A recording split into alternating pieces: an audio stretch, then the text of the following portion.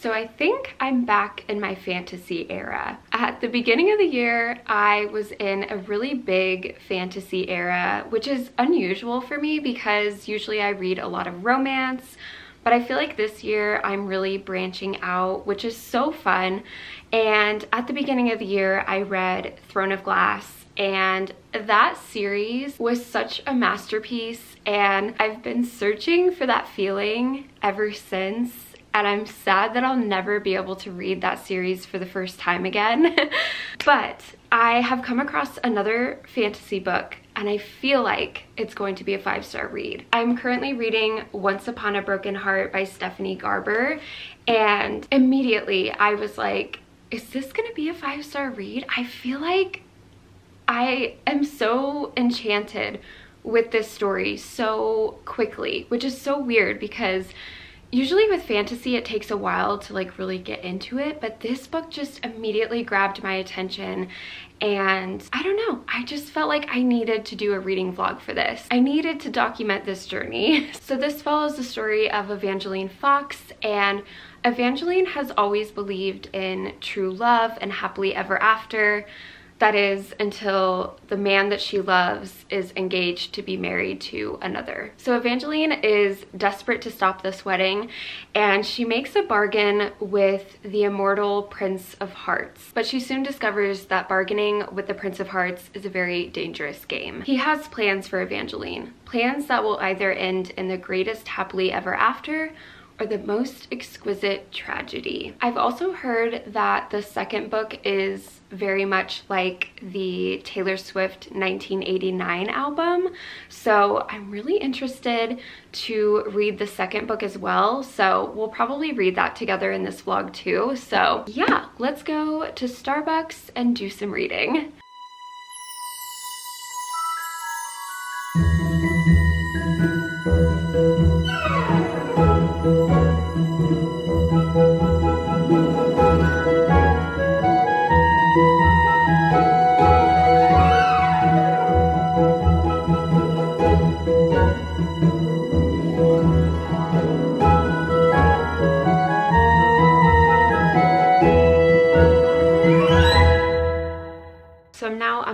Two, which is called The Magnificent, wow, can't talk, The Magnificent North.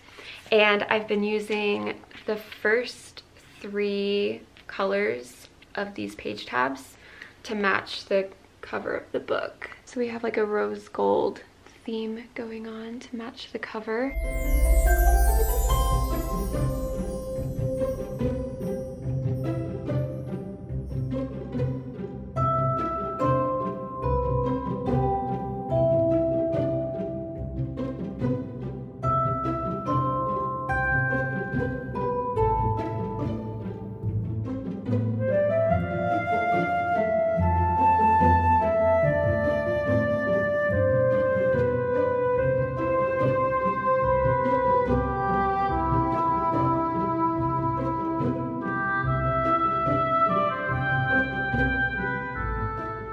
In this book, there is a place called Magnificent North. And there are these little tiny dragons that are like the size of chipmunks. And they just roam around this place. And it says that they are as common as squirrels. And I just think that is so cute. Look at that, so small. If I lived in this fantasy world, I would absolutely have a pet dragon. I just got to part three. So part three is called Chaos and it's definitely very chaotic right now. Something really big just happened and I have no idea what's gonna happen next. And at around the 50% mark, you get this really big piece of information. But other than that, I really have so many questions. and also the Prince of Hearts, his name is Jax. Jax is still such a mystery to me. I just find him so interesting. I think he has a lot of layers to him. I think there's definitely a lot more than meets the eye. So I'm about to go to my parents' house because I'm cat sitting. So I'm gonna bring my book with me and hopefully I'll finish part three And so I'm thinking, I'm feeling a little ambitious. So hopefully I will also start the second book. So I just got the second book on my Kindle from the library. This is The Ballad of Never After. And I've heard that the ending is really crazy. So I don't know if I'm emotionally prepared for that. And the third book doesn't come out until October. So. We'll see how it goes.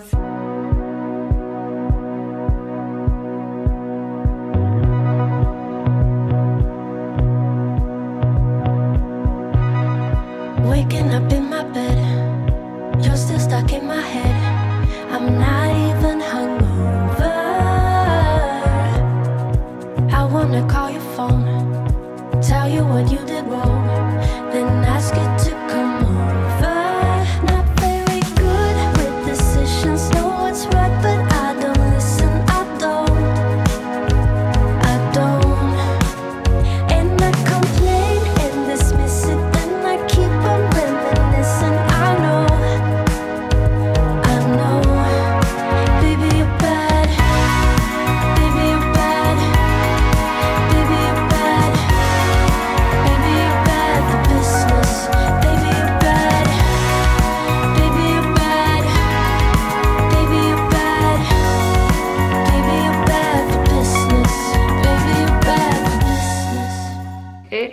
been two days since I have talked to you guys.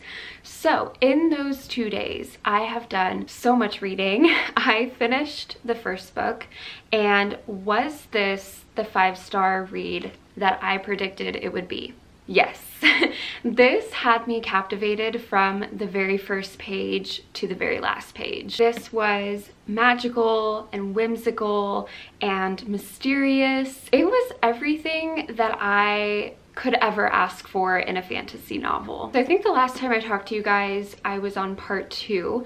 And in part three, there is just so many twists and turns, and you think you know one thing, and then it actually turns out to be another thing. And with Jax, he is still such a mystery, and I, like, part of me really wishes that I could get Jax's point of view, but then also I feel like the mystery and intrigue of Jax's character is a big reason why this story is so good because it really just keeps you turning the page because you're just like, who is Jax? Like, who is he really under this like tough exterior?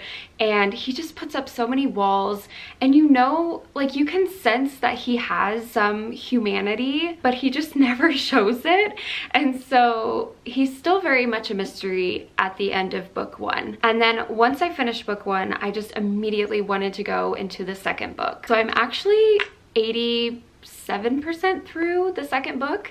I just pretty much read all day yesterday and I've been switching back and forth between my Kindle and the audiobook and there's this quote in the second book that I feel like kind of sums up who Jax is and it says he casually slid into the seat beside her and turned to her with a wolfish grin. It was a smile like a fairy tale, part villain, part hero, part impossible ever after. So I feel like that really sums up like who he is because you kind of get this feeling that he's not exactly a good guy, but he's not exactly a bad guy. And well, sometimes he is. but, okay, he's he's morally gray, but but you do you just get the sense that there's there's more to his story and he isn't all bad. So also there is this really cozy inn called The Hollow and those chapters were like my favorite chapters because they were just so fairy tale like and the inn is described as the rooftop was covered in enormous cherry mushrooms with red caps that had tiny dragons dozing upon them. Then there were the flowers, so large they were the size of small children, with bright colored petals in every shade, which seemed to perk up as the two of them arrived. And uh, I just, I want to live at the Hollow. and it's just a, a really special place. And There's also this small dragon that wants to like come inside the hollow and be there with Evangeline. And I wanted so badly for Evangeline to keep this dragon as a pet, but I was so sad that the dragon ended up just leaving so but i'm such a sucker for like a pet dragon in a fantasy story you know there's hagrid who loves norbert and in Throne of Glass, there's um, Abraxos, and he is the sweetest cinnamon roll dragon in the world. There's no dragon quite like him. So I was hoping there'd be some sort of dragon character in the story, but anyway.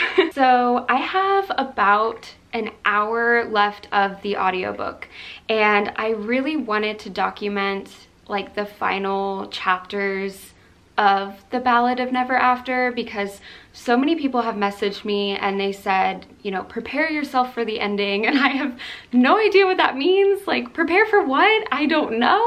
So I just really wanted to document um, the ending. So here we go.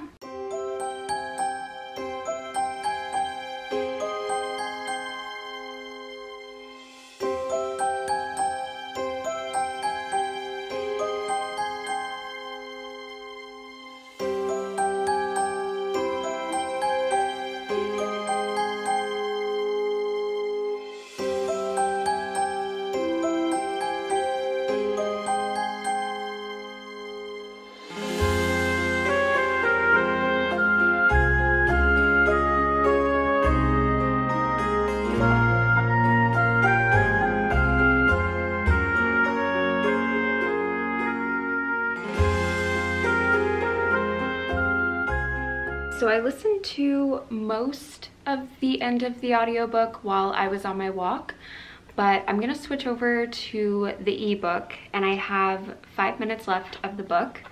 Um, so let's do this. I'm so nervous.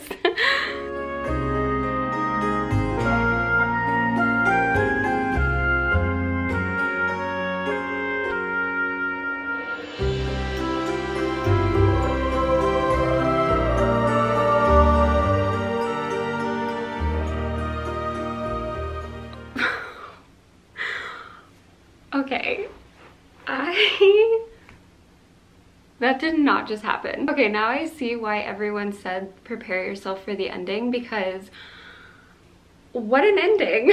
yeah, um, I feel betrayed.